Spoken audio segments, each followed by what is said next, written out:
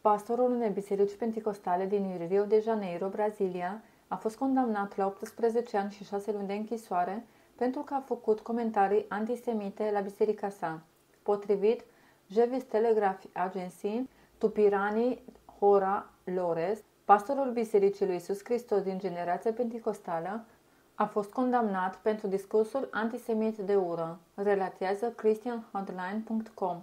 Descrie și abonează-te pe canalul nostru de YouTube Creștin Total TV și vă așteptăm și pe site-ul creștintotal.ro.